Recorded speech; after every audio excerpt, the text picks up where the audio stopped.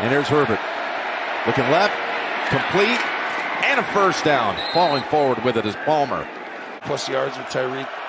And now they've only had one the last two years, so you're seeing it get a little more explosive today. You went down the field. Here it is. Here it is to Palmer. Trying to make the move on Cook. And here he goes. One more move, and he's tackled down at the nine. He probably could have kept running. Should have right? kept going on that line. Right down here, you're going to see him with a play action right there, holds the safety. They get really aggressive on first down with no safety help.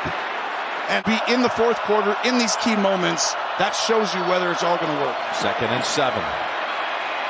Herbert goes down the field, and Palmer able to fight for it.